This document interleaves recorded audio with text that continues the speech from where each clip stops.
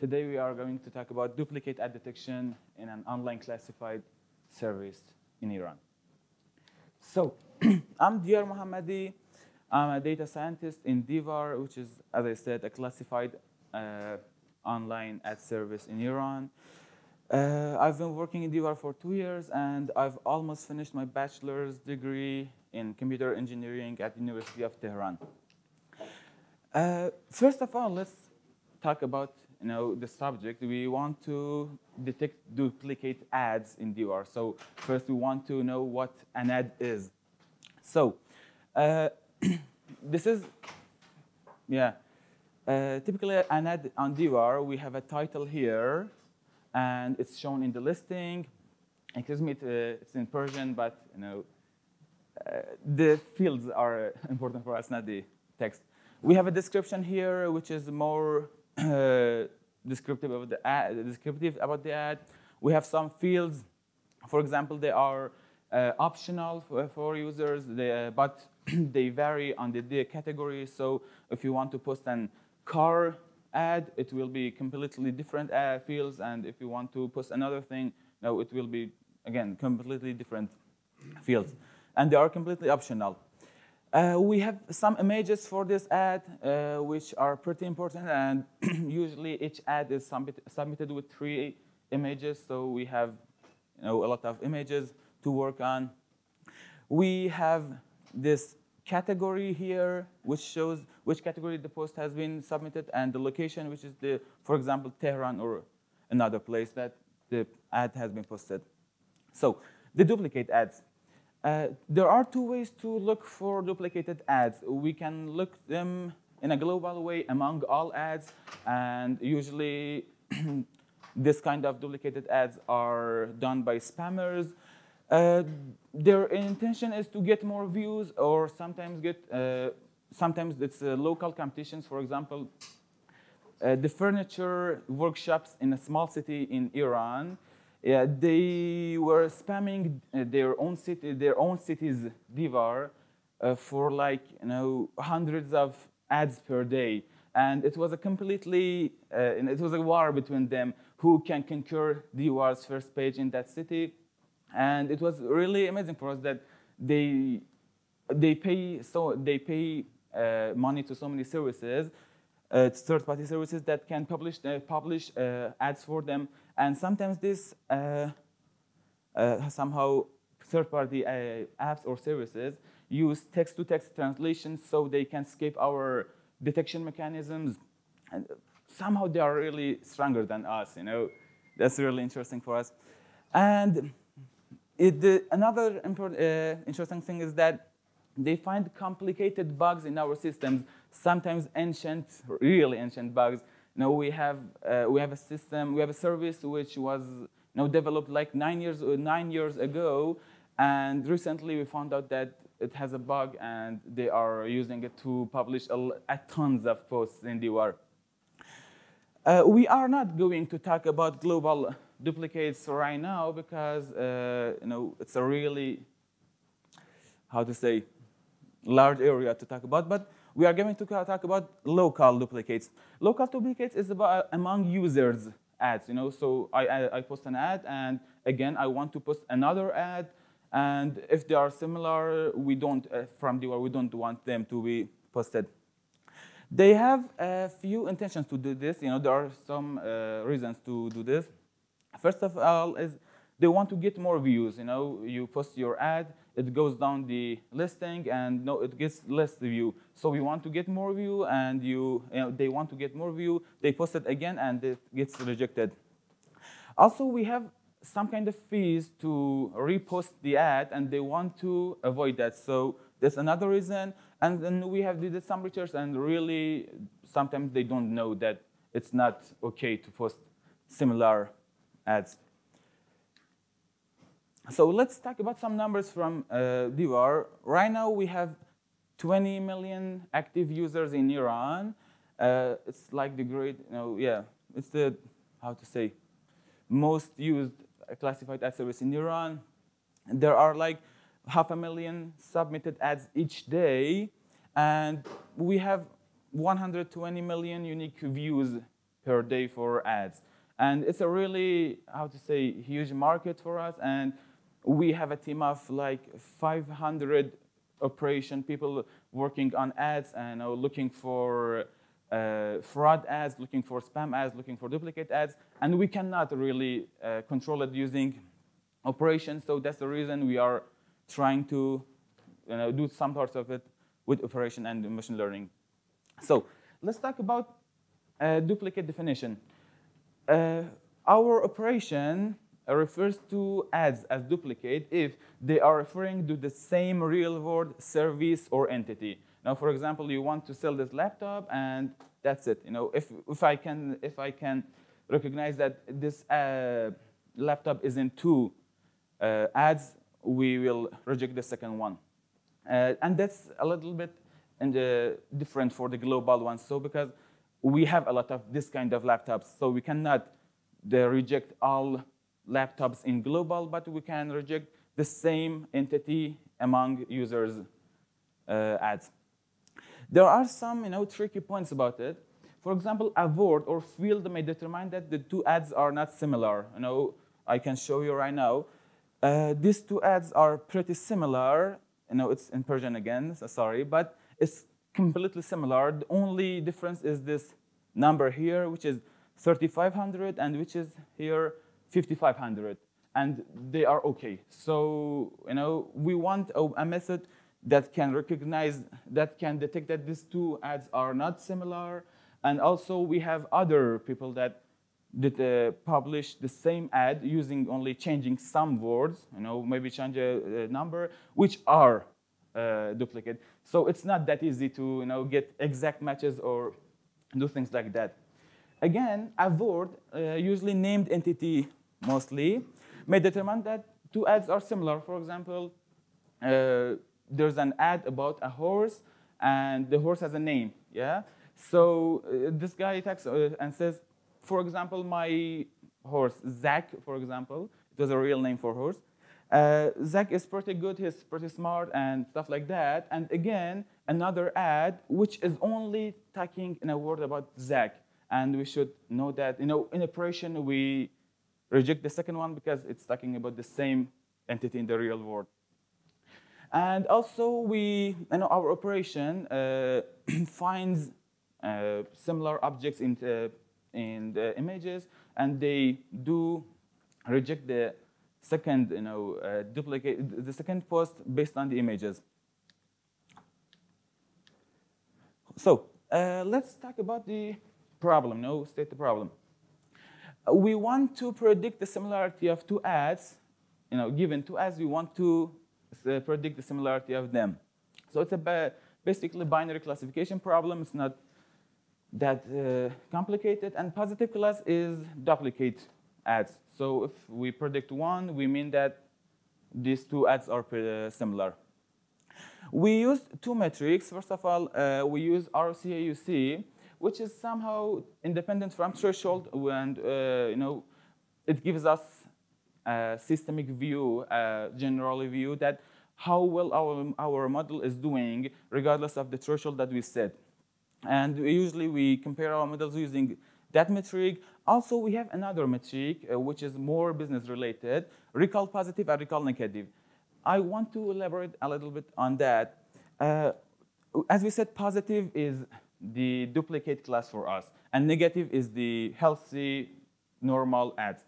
So we want a given recall negative. We want, for example, 19, 7, 99, based on the categories, uh, negative recall and we want to know how much recall of positive we can get if we want to, uh, how to say, stay, stick to that constraint, yeah? So this constraint comes from our operation. It's an, like SLA, it's a standard we have, and we try to improve our recall positive based on that. No, yeah, the standard. So let's, start about, let's talk about modeling. Uh, our base model is something like that. We have a Siamese network, and as you may know, in Siamese networks, the encoder or the models here are similar. They share the same weights, and the weights are updated. Uh, you know, these are the same models. That's the thing I want to say. And we can encode uh, many features in encoder. For example, we can use title and description, as we said. There are text. We can uh, use images. We can use fields, location, and category. And also, for classification head here, we can use dot product. We can use cosine similarity. We can use one or multiple dense layers. And uh, usually here in Divar, we use one or multiple dense layers uh, because we want to add other features there, and we cannot exactly, uh, how to say, use dot product, dot product or cosine similarity uh, directly. Uh, yeah, that's it, and let's go to. So the first version that we worked on it was uh, V1 text only, and we were only you know, feeding text to our model, text and some of these features, basic features, title and description, and city and category were fed to the encoder, and encoding were uh, came out the encoder. Uh, it was it is the uh, structure of our encoder, first encoder. It's a multi-layer BiLSTM, and you know uh, first, before this, we were using FastText, and you know it was real. It was uh, robust and you know really fine in production, but after a while we couldn't get this, uh, the results that we want from FastText, so we tried to use BiLSTM. Uh, we have some skip connections and layer normalizations. These two have, uh, you know, we this structure was finalized during some tasks, so uh, we found out that using skip connections and layer normalizations can help our model improve the metrics. We have attention with, here it is, with context layer, yeah, which is pretty awesome. And, you know, the, uh, the base, you know, application for us is, as a weighted meaning, you know. Usually, if you have worked with BiLSTM models, you can, you know, we have uh, for example, a 100 uh, dimension vector of embeddings, and we have a batch of you know, text, and each text is, has many words. So uh, at the end, we want to have the same size uh, features for each text. So uh, before this, we what we was what we were doing was an average uh, pooling. But after using attention with context layer, you know, there were pretty you know, good results that we get.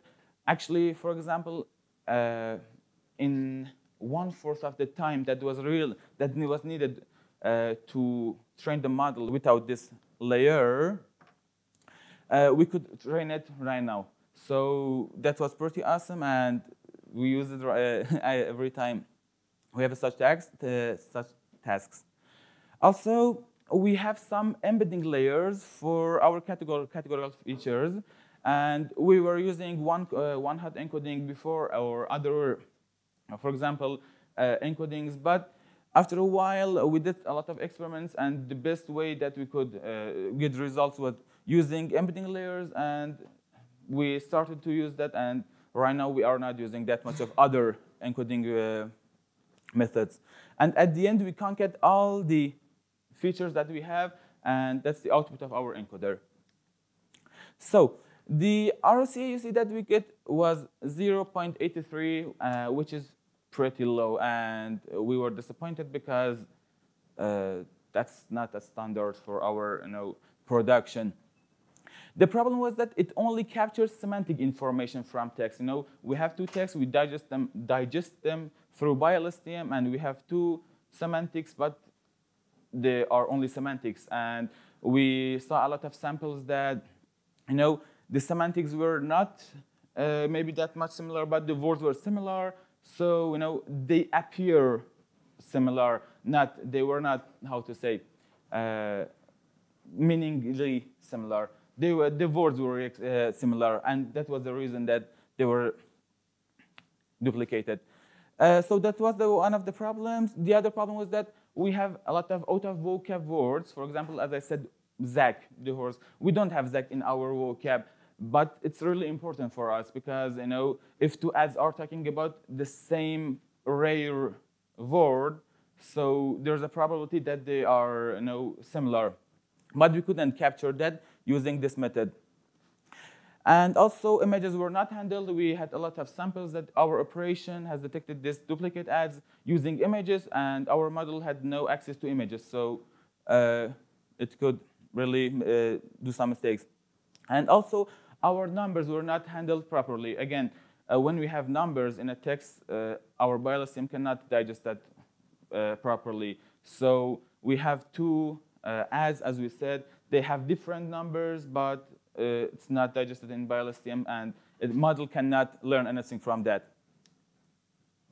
So uh, for our version 2, we tried to create some handcraft features, and uh, these features were mostly about appearance of appearance of text.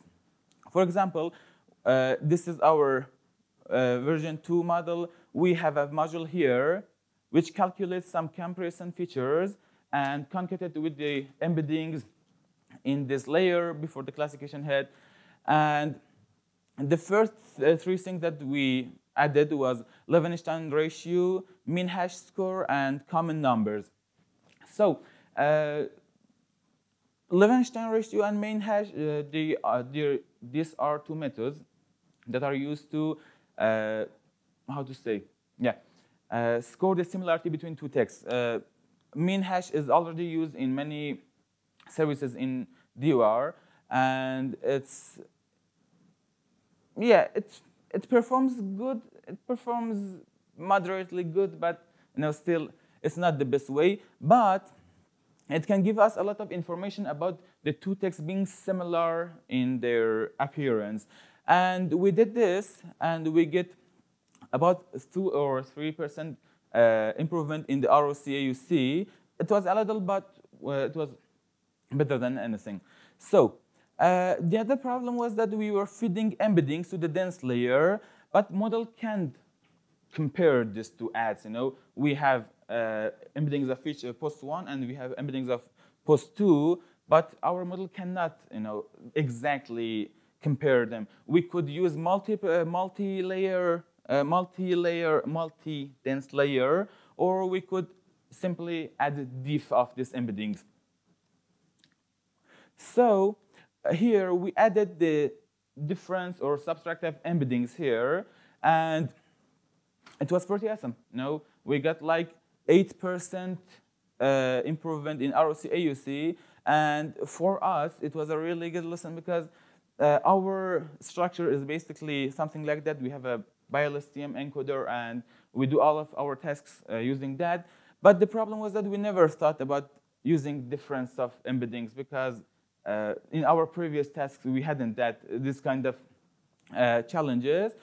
Again, this simple feature helped us improve it, improve our metric uh, significantly. And again, it was our V3, which was 92, 95. And so uh, we think about uh, what's the next step, and we wanted to handle images.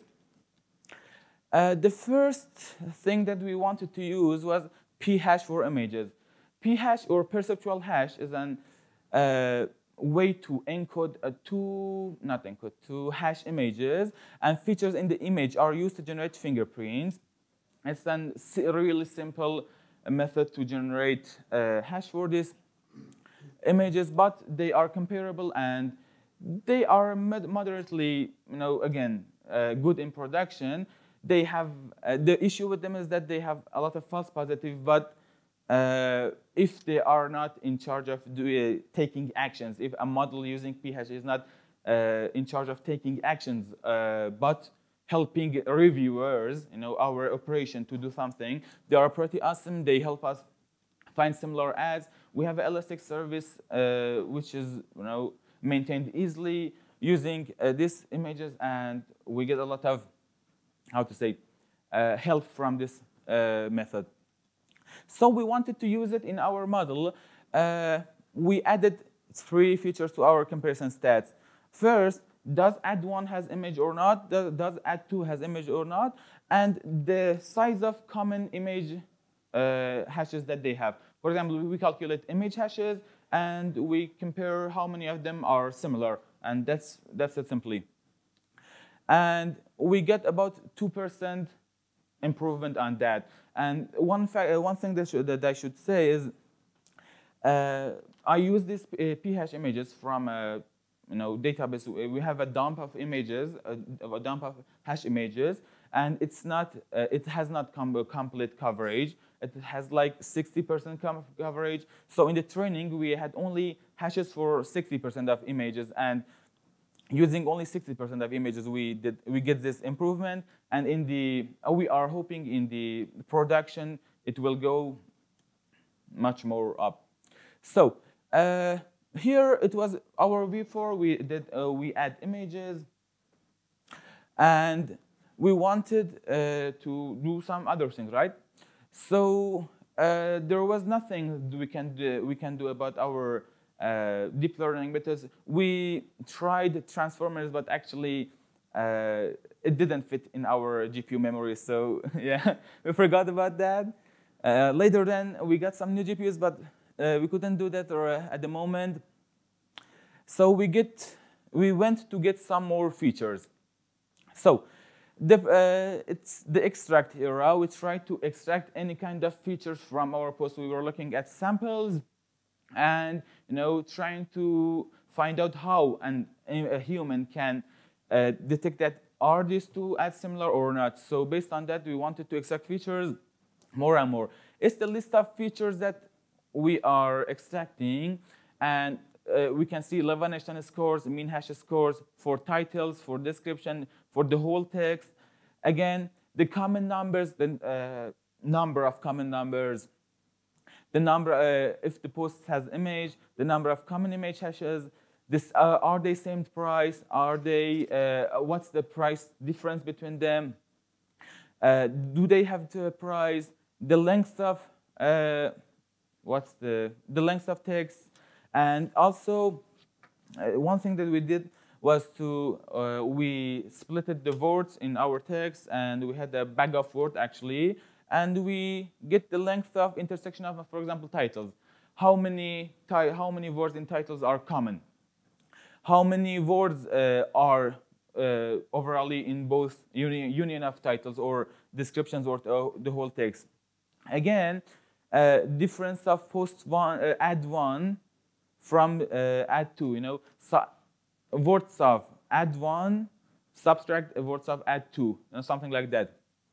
And we did uh, add all these uh, features, and the final result was our CAC of 9591. And it was, uh, it was a really good metric for us. It was uh, a little bit even higher than our production standards. And the point was that we did all of this in like two days. So it was the end of OKR, and we had to get the metrics, you know, get the how the key objectives uh, done. And yeah, it really saved us. It is the TensorBoard of uh, the experiments we did. Here is the first one. And again, uh, the first one was on text only. We, uh, what was that? I don't remember it. yeah, yeah, comparison features. So we added comparison features a little bit uh, better. The best difference that we got was after adding post divs. And after that, we added images and a little more uh, the other metric uh, features that we add. And this is the final retrain that we did for our production. Uh, so uh, after that, we want uh, we thought we think we thought excuse me about the, what's next and what we are going to do. First of all, uh, we did some experiments about images, really simple. We extracted uh, some features using MobileNet v3 small, and we indexed all these features for about 2 million images in a dense vector database search called Milvus. And we got pretty awesome results. You know, uh, we, for example, the query was uh, a picture of this room, and other pictures of this room were returned in uh, like among two million, two million uh, images, and they you know this uh, this shows us that using uh, any pre-trained model, even MobileNet can help us a lot. So we want to use deep learning methods to generate image hashes, image features instead of p-hash. Also, as we said, we have a lot of features here that, yeah, we have a lot of features here. Uh, they vary based on the, uh, the categories, so we don't have any structure for them. But there are methods that we can use them to generate our embedding. And this is the two things that we want to work on them later, and that's my time. Thank you.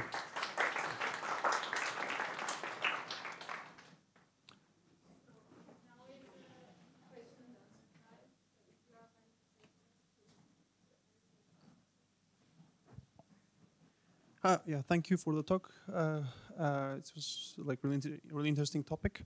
Uh, I have two questions. I mean, one one is more not, not more not of a question, but uh, some idea. Um, yeah, uh, yeah. Now you can hear. Sorry. yeah, I think for the p-hash, maybe you have some kind of compression mechanism on your website that is when you're uploading, when user is uploading the image, it is getting compressed, and yeah. then maybe some some color shifts are happening and then the p-hash is uh, misbehaving. Mm, is it the case maybe? I'm not sure actually. No, it's a really good. Uh, Especially if someone is. But I'm not sure that we. Uh, I'm not sure if we do a comparison on you know we, during the submit of ads. I'm not sure that do we do any comparison or not. But it's a really good thing to you know. Uh, we haven't checked that. Yeah. yeah.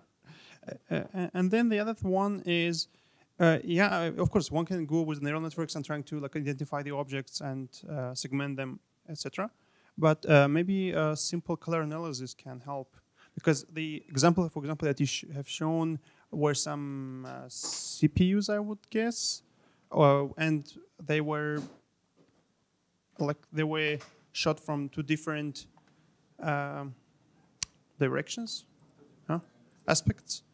Um, and I guess like uh, yeah, like this one.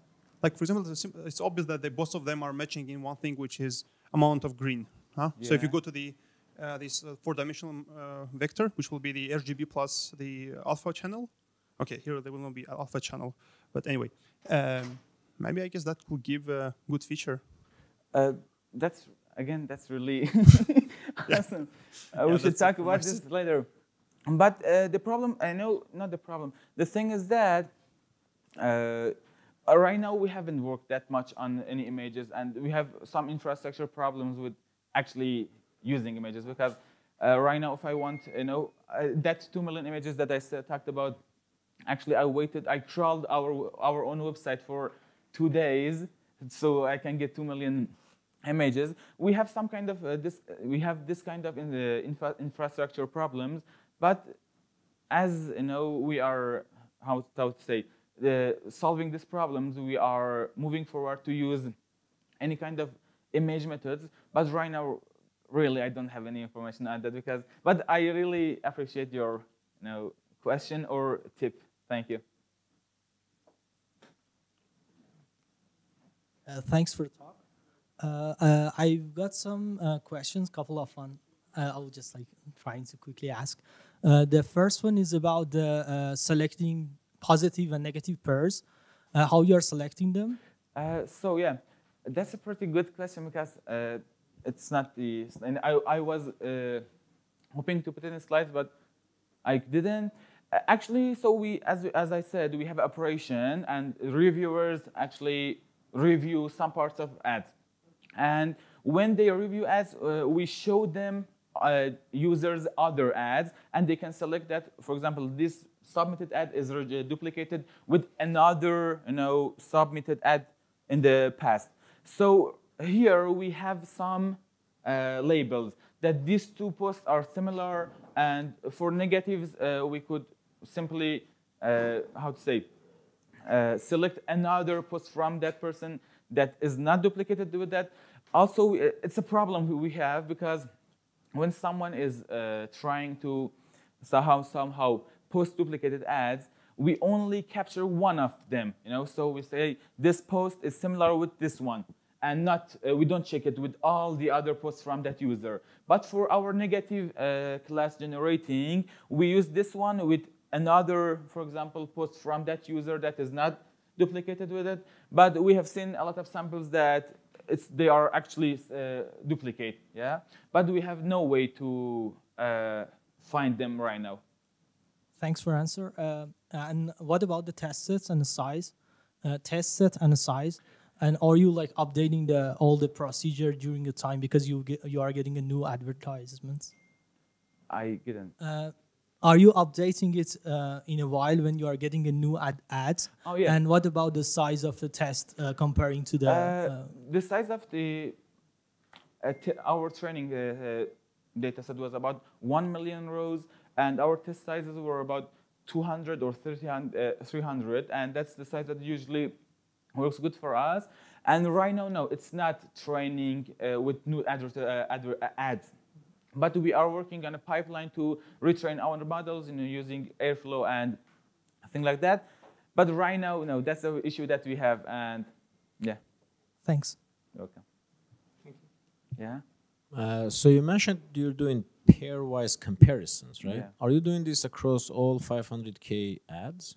Uh, so it's, we don't have 500k ads. We have 500 rows of prediction. You know, we have ad one and ad two in each row. So we have 1 million ad one, ad two, and it's not like a global search.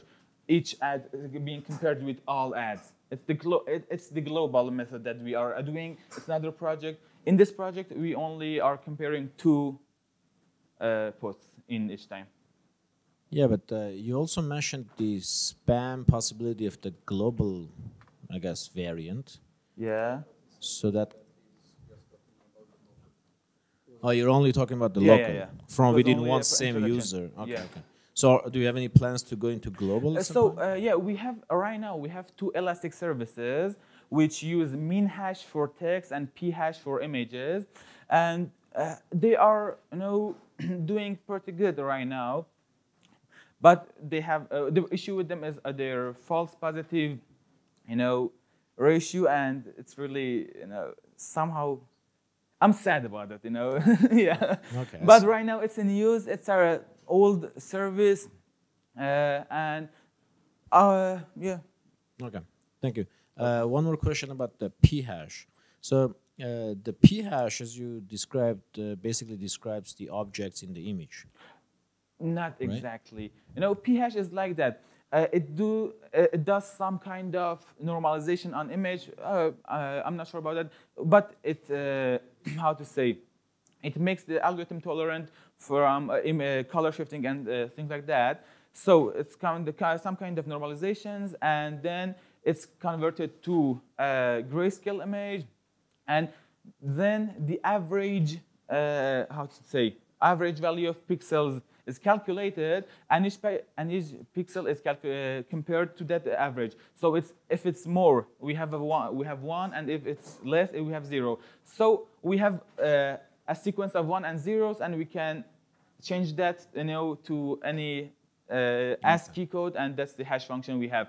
And the, you know, uh, somehow it can yeah it can tolerate some kind of the distortion or distractions on images and Yeah. Right, that makes sense. Actually, I guess my question uh, stemmed also from like the global, if you were to do that, because then uh, the question will be if two separate people are selling the same car, for example, similar car, Yeah. then obviously the images will be similar, even, Uh, if so- they're taken in different yeah. places. So uh, uh, the, the point with that is that we don't use phash to find similar images. We use it to find exactly similar or uh, images that have been a little bit edited or distract, uh, not distracted, or for example, the light, uh, the color has shifted. but where the source was the same. Yeah, yeah, yeah. Got it. Okay, makes sense. Okay, thank you. There's no segmentation for the hash calculation. It's not a element-based algorithm. It's like a plain reduction of the image size and a comparison based on the average uh, per pixel uh, colors. Yeah, I guess I'm not very familiar with phash. That's why. Actually, as you said that, there's something interesting about this, uh, this task exactly. So uh, as we said, the definition is, you know, uh, two ads referring to the same real-world entity or service. That's not true because uh, we have real estate category, and in real estate category there is a real estate which is posted by many uh, agencies, and they are all referring to the, the same entity. But we are okay with that because we have no other choice. And no, the problem is a little bit really uh, still not uh, known for ourselves. We are somehow uh, there are a lot of uh, regulators from the government, and you know the problem is how, how to say Evol- yeah it's evolving at the moment. Welcome. So, thank you, thank you for your attention and time.